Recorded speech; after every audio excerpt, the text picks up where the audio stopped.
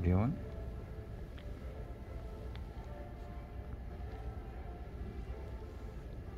기분 잔치.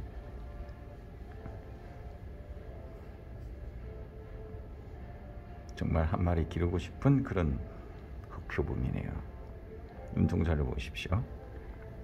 멋있죠?